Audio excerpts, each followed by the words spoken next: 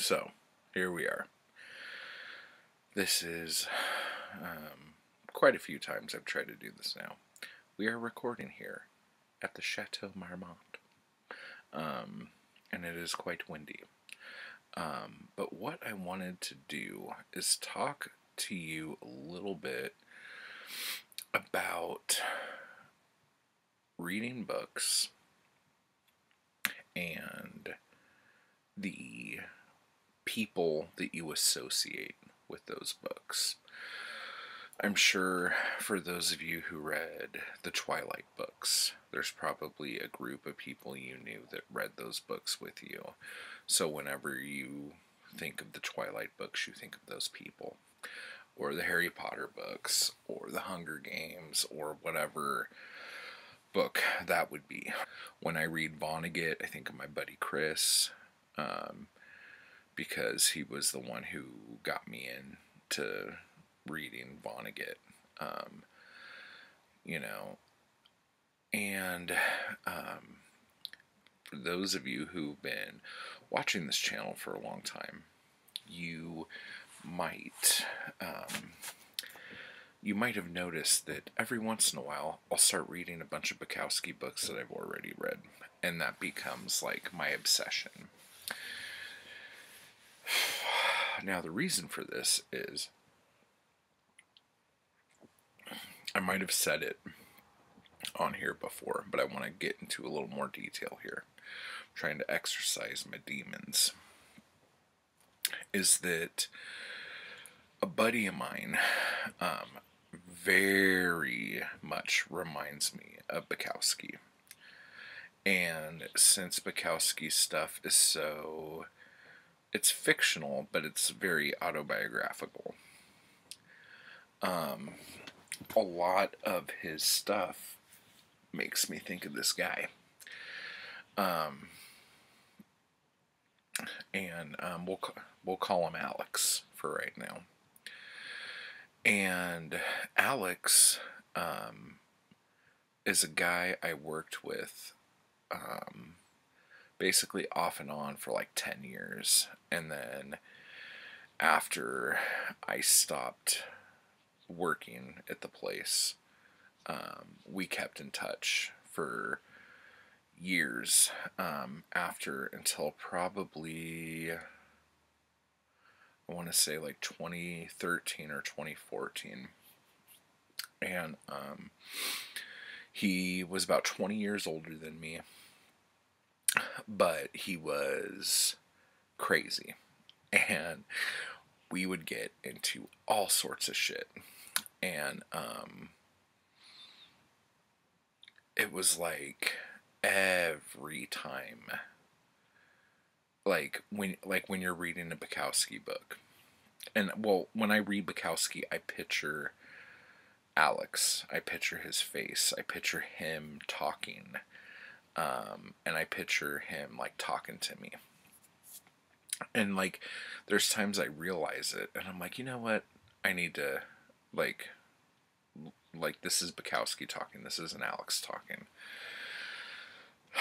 But they were so similar and um, like the same face, the same pock marks, the same alcoholic nose, you know, um, the same, uh, so much stuff. And a lot of times, like when you're reading a Bukowski book, you're like, there's no way this stuff happened to somebody.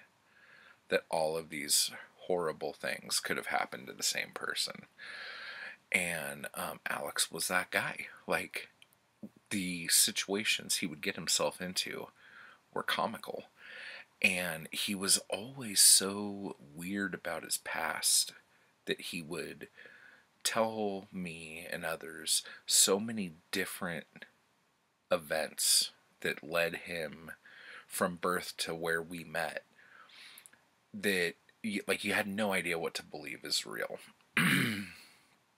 So, another thing about the Bukowski books that helped me is that he basically, you could read the novels and go through his entire life from like in in not publication order but chronological order from Ham on Rye even through to Pulp.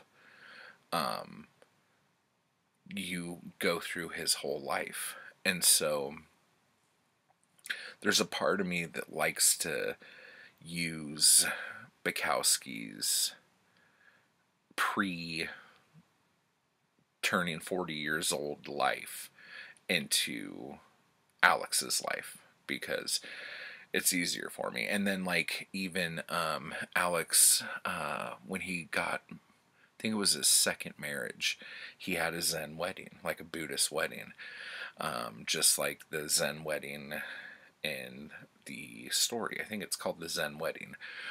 But the difference in that story was Alex was the one getting married and I was the Bukowski character. I was the idiot. I was the guy who ran up to the monk and said, "Listen, motherfucker, you either give me your robe or you give me your ears." You know, like um, I made a fucking ass of myself that night, man. That's a story for another day. But um like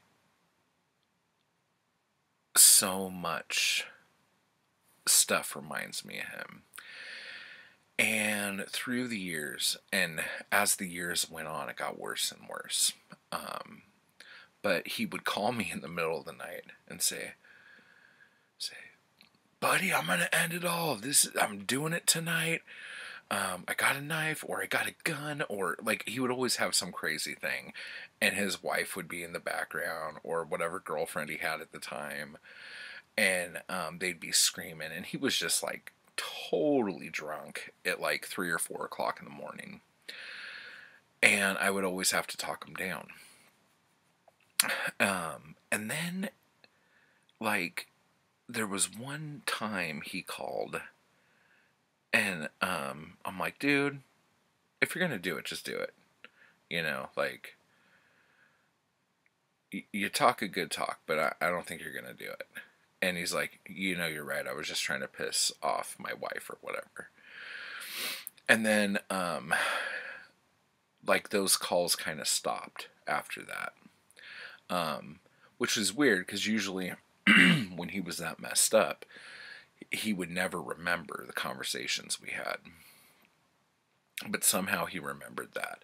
So the rest of the time that we spoke, it was always um, not three o'clock in the morning trying to keep him from killing himself.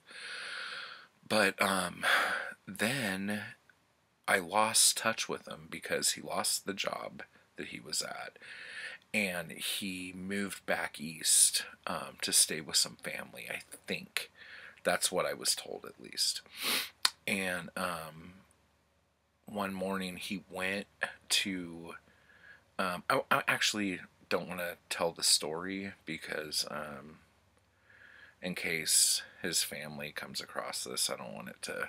But he killed himself. And um, in a very deliberate way. and um, I probably hadn't talked to him for like two years when that happened. And um, felt maybe I feel it like responsible or something like that. Um, but as much as he would drive me crazy, like you would you would hang out with him for like a couple weeks and then be like, if I ever see him again, it'll be too soon, you know.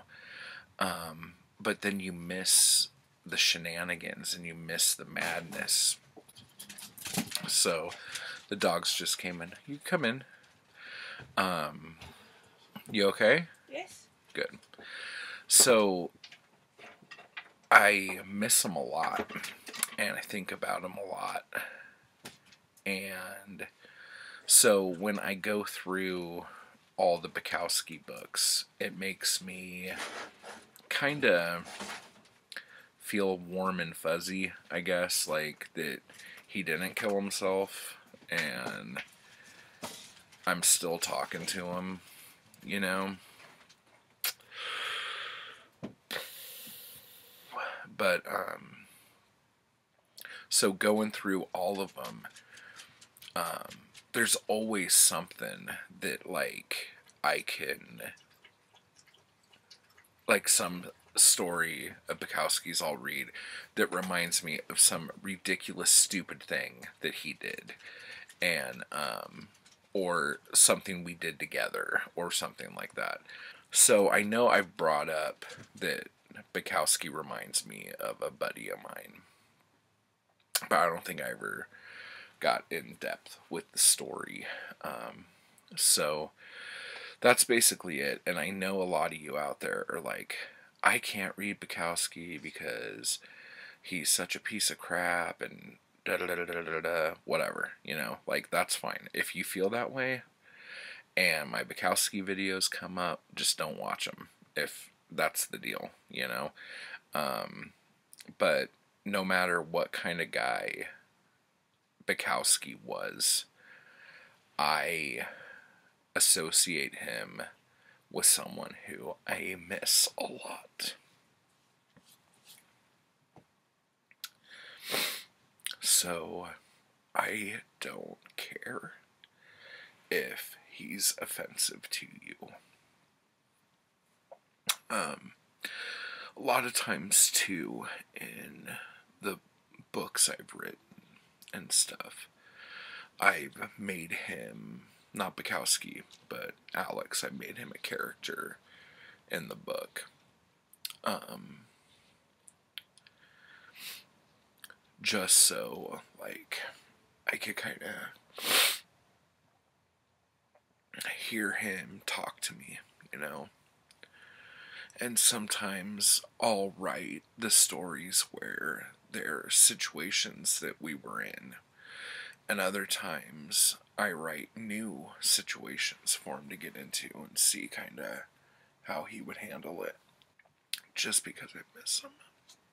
So, um, I write a lot of poems, and a lot of them, not a lot of them, but a good number of them, are to him. And, like, me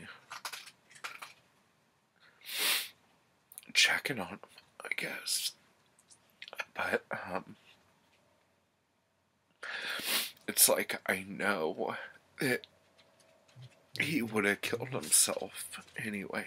Like, I can't. I can't take that responsibility, you know. But, um, it doesn't change the fact that, like, I think about it, and I always wonder, like, like, why did he stop calling me? you know, when he moved. Because, like, we never got into a fight. I mean, the last time I talked to him,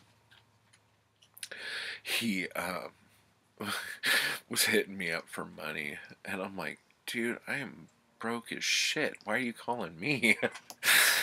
um, but that was like the last actual conversation I had with him. I was in Toluca Lake, standing on the side of the road. So weird. But anyway, um, I'm sure there's a lot of you out there who have books or authors that you relate to somebody who you associate them with. And like I was saying about like my buddy Chris and Vonnegut, you know, like I don't think I could ever read Breakfast of Champions and not think of my buddy Chris. That probably wouldn't make him feel very good. um, but it's the truth.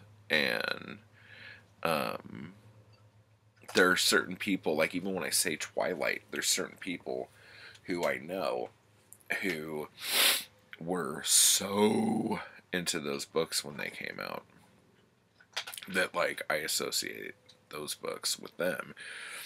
And like um like the like the Raven boys. Like who do we think of? Brit. Brit, you know, it's like you have people that